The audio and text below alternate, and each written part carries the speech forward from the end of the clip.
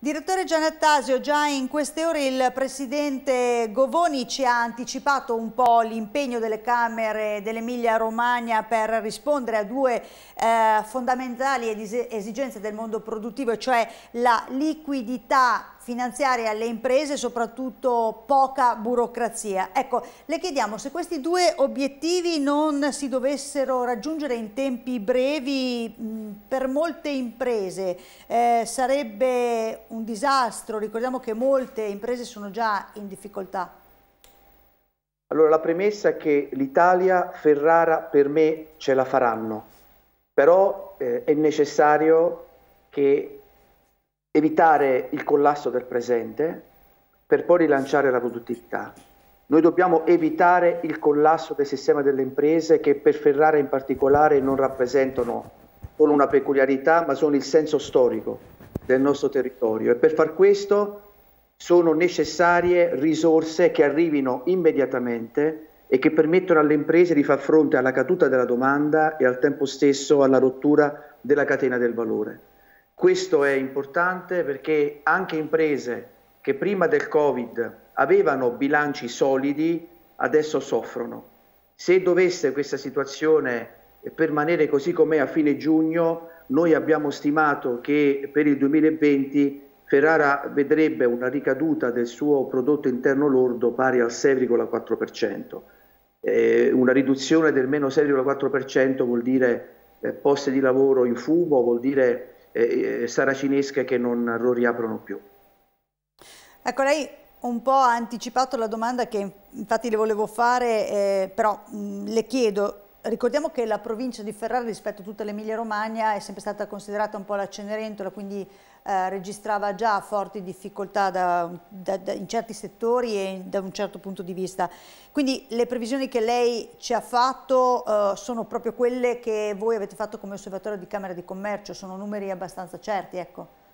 Diciamo che abbiamo lavorato sia con Union Camere ma anche con l'ufficio studi di Prometea e, e, devo dire che questo è il dato che, che abbiamo prospettato con una serie di elaborazioni. Dietro i numeri però ci sono famiglie, ci sono sacrifici, eh, ci sono lavoratori, eh, ci sono imprenditori che ancora oggi, eh, piuttosto che preoccuparsi di come fare eh, per il futuro, eh, eh, si preoccupano di come non far perdere il posto di lavoro a, a collaboratori che, che, che sono essi stessi delle famiglie. Noi dobbiamo pensare a questo, i numeri alla fine ci danno un'indicazione seria di come muoverci, ma è altrettanto vero che spesso istituiscono però quell'immagine vera che, che, prima io le ho detto, eh, senza le imprese non c'è lavoro, non c'è relazione, non c'è comunità e un territorio è destinato ad implodere. E quindi non è tanto quante risorse arriveranno, le abbiamo anche stanziate le risorse, occorre però che arrivino immediatamente.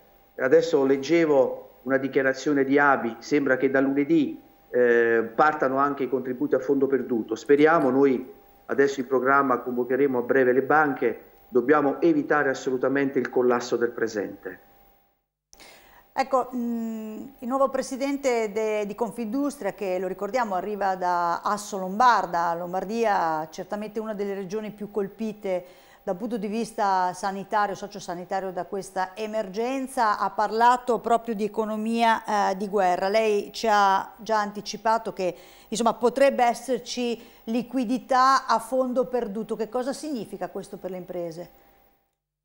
Ma guardi, io intanto vorrei farle una premessa. Noi eh, per il bene superiore assoluto della salute abbiamo ehm, approvato delle misure non convenzionali, hanno privato tutti noi giustamente della nostra libertà e al tempo stesso il sistema delle imprese merita misure convenzionali.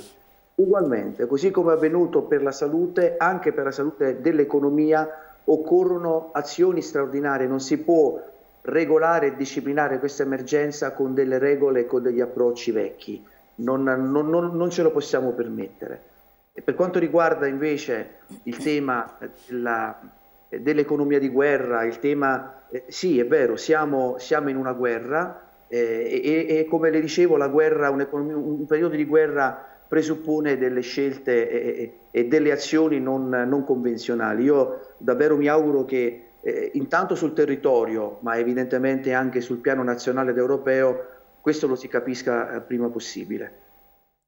Ecco, c'è però chi si oppone, diciamo così, a, a, interventi che sono eccessivamente in deroga rispetto anche alle norme vigenti. Ecco, ad esempio eh, le imprese chiedono di semplificare al massimo i cicli degli appalti. I sindacati però si oppongono.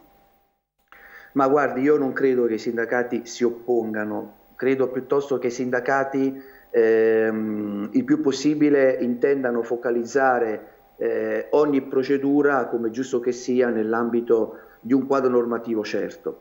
È altrettanto vero però che io non credo, perché non faccio processi alle intenzioni, non credo che il sistema delle imprese, a prescindere con la deroga, voglia approfittare di che cosa. Dovremmo trovare un equilibrio che possa appunto coniugare il rispetto della legalità e quindi del lavoro, altro bene supremo, con però la necessità di svecchiare questo Paese e di fare in modo che questo Paese non muoia, non venga affossato da, da burocrazia. Eh, non voglio tediare adesso su quanto ancora la burocrazia pesi, però le, le confesso una, una, cosa, una cosa gliela devo confessare. Ero convinto che in questo momento straordinario il Paese avrebbe fatto a meno di una buona fetta di burocrazia, cosa che non è, non è assolutamente avvenuto e questo che poi lascia la mano in bocca. Gli imprenditori hanno bisogno di soldi sicuramente, hanno bisogno di vicinanza sicuramente, però hanno anche bisogno di una vita un pochino più semplice per poter ragionare anche per il futuro, perché loro già ragionano sul futuro, gli imprenditori non si fermano mai al presente, già ragionano sul futuro e, e quindi bene eh, le riaperture, benissimo che le riaperture rispettino la salute e la sicurezza dei lavoratori e degli stessi imprenditori, però eh, dobbiamo immaginare comunque delle azioni e degli strumenti nuovi.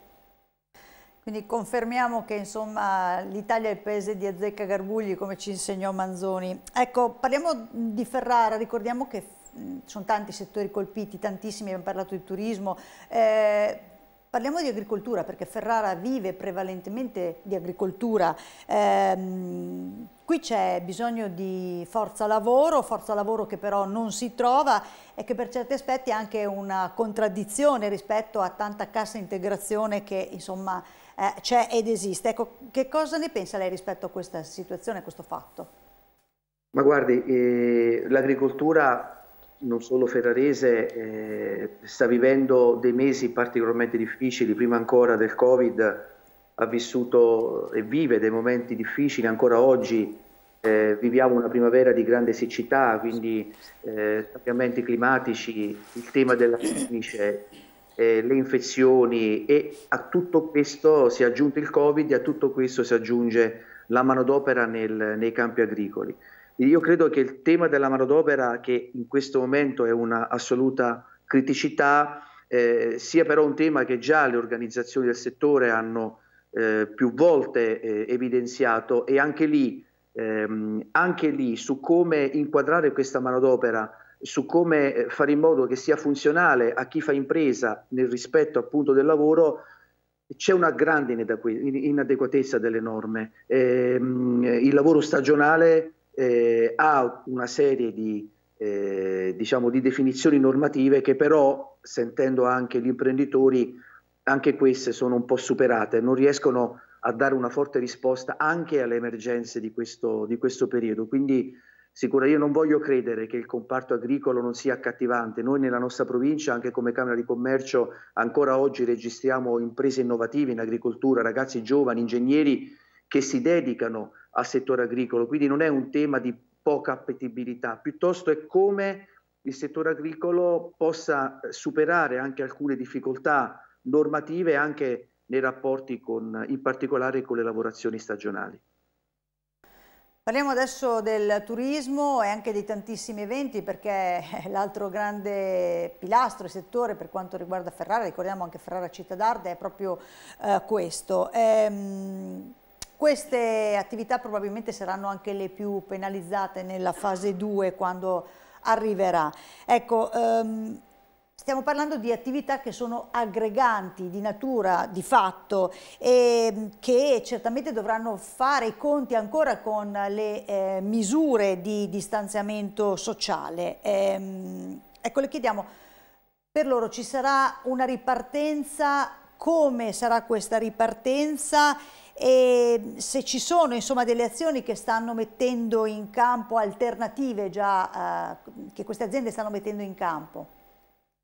Ma guardi, sicuramente il turismo, la ricettività, la ristorazione eh, è uno di quei settori che, che, ne risentirà più a lungo, l'ha detto lei prima, perché vive di aggregazione, di relazione, vive di, eh, di, di gusto per la libertà, di movimento e quindi sicuramente nel breve e medio periodo ehm, davvero avremo tantissime difficoltà. Intanto però le imprese già si stanno organizzando anche con per esempio la ristorazione a casa, eh, è un esempio che non può essere strutturale oppure di lungo periodo, però è già una prima risposta che gli imprenditori si danno, oppure anche diversi alberghi che, che stanno ospitando anche eh, persone in quarantena. Quindi diciamo che il mondo dell'impresa il suo lo fa.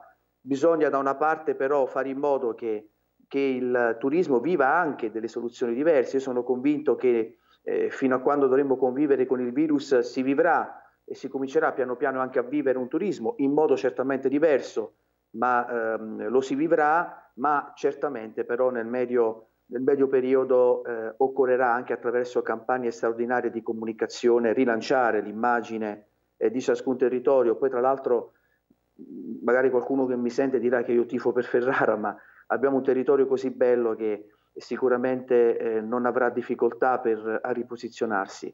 Come le dicevo prima, questo vale anche per il turismo noi dobbiamo evitare che in questo momento le imprese muoiano, perché tante imprese che oggi muoiono non riapriranno dopo. Questo dobbiamo, non dobbiamo pensare che, che le imprese riapriranno, saranno le imprese che adesso non riusciamo a supportare, a sostenere e qui dovessero chiudere i battenti, è molto difficile che li riapriranno dopo. Quindi dobbiamo adesso ragionare adesso sull'immediato e poi rilanciare qualunque altra azione per la produttività e questo anche per il turismo. Parliamo adesso del eh, settore manifatturiero perché il PIL eh, ferrarese è fortemente dipendente dall'export delle nostre aziende, anche se sono poche, insomma, manifatturiere. Ecco, ne chiediamo qual è la situazione di questo settore e se anche qua è possibile fare delle previsioni. È un settore evidentemente in grande sofferenza, soprattutto perché, come le dicevo prima, eh, occorre ripristinare le catene del valore, le relazioni non solo nazionali, ma tante nostre imprese, in particolare dell'Alto Ferrarese, lavorano con i mercati internazionali. E quindi è fondamentale che eh, al più presto questo Paese possa riavviare alcuni circuiti economici eh, dando sempre priorità alla salute, ma che però ehm, questi circuiti devono necessariamente essere avviati il manifatturiero a Ferrara ha una sua valenza, lei prima diceva sono poche, è vero, non, non, abbiamo tantissime imprese, però quelle che abbiamo sono di assoluta eccellenza e non solo quelle medio strutturate, ma anche piccole. Noi abbiamo tantissime piccole imprese artigiane che, sono, eh, che innovano giorno dopo giorno e che non hanno nulla da invidiare rispetto a imprese ehm, eh, che, che, che operano anche in questa regione e non nella nostra provincia.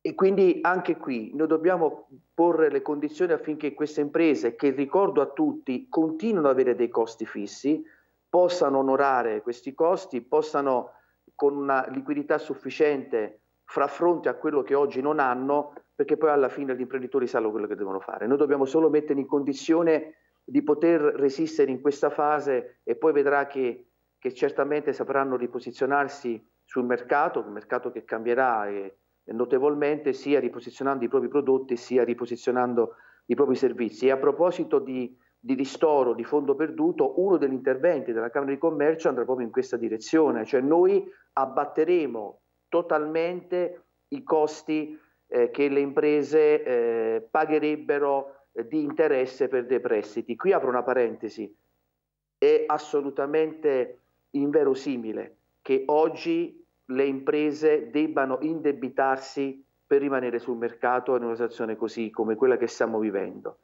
Davvero è una situazione, eh, io mi sarei aspettato altri tipi di interventi, addirittura congelare eh, intere filiere, eh, fare in modo che nel momento straordinario non ci fossero costi da, da pagare o si è, si è, scelta la via del prestito, si è scelta la via e allora se però il, di prestito bisogna vivere, almeno noi faremo in modo che le imprese non paghino nulla di più rispetto alla restituzione di quello che avranno, perché altrimenti davvero sarebbe un, un, una, una, roba davvero inverosimile. Cioè noi chiediamo a delle imprese che stanno morendo di indebitarsi per non morire. Ecco, questa è un po' la logica eh, alla quale il Paese ha pensato e speriamo che però sia una logica che il più possibile si riesca a mitigare. Ecco, le chiedo, chiudiamo questa propria intervista, questo approfondimento, che messaggio possiamo dare in queste ore, in questi momenti in cui si sta aspettando la ripartenza, eh, la fase 2, come ripartire? Lei ha spiegato tutti eh, le luci e le ombre no, dei provvedimenti che sono stati presi a livello governativo, eh, regionale e quant'altro. Che messaggio possiamo dare agli imprenditori in queste ore? Allora, guarda, tanto eh, io ho, ho, avuto la fortuna di, di, di, vivere diverse realtà italiane, da Varese, Catania, Cagliari, Novara, e le devo dire che eh, la tempra che io eh, quotidianamente, ascoltando, sentendo gli imprenditori qui di Ferrara, è una tempra non comune. Ecco perché all'inizio le dicevo ce la faremo, Ferrara ce la farà. Per quanto riguarda le istituzioni, a cominciare dalla Camera di Commercio, c'è l'obbligo, l'obbligo di lottare ogni giorno, ogni minuto affinché il sistema economico regga questo momento difficile e per quanto riguarda la Camera di Commercio gli imprenditori devono sapere, ma lo sanno, che noi ci siamo, ci siamo ogni giorno, noi al di, diciamo, al di là del Covid siamo qui operativi ogni giorno, eh, la, la, la, sede di Largo Castello e la sede di Cento sono aperte, eh, ma perché questo? Perché eh, Oggi ci sono imprenditori che, le faccio un esempio, anche sui codici Ateco, capire ma come riconverto, come faccio, come non faccio. Noi abbiamo creato un sistema per cui un imprenditore da casa col proprio smartphone può tranquillamente vedersi da solo il suo codice Ateco e capire come, come convertirlo. Piccole, piccoli segnali che però secondo me sommati danno il senso di una presenza, perché l'imprenditore non vuole sentirsi solo in alcune scelte, le scelte le compia, ma è importante che il sistema pubblico, il sistema di relazione faccia sentire l'imprenditore meno solo. Io sono convinto che ancora una volta le piccole e medie imprese porteranno Ferrara fuori, al di fuori di, questa, di questo momento drammaticamente difficile. Grazie direttore, buon lavoro. Grazie a voi. Arrivederci.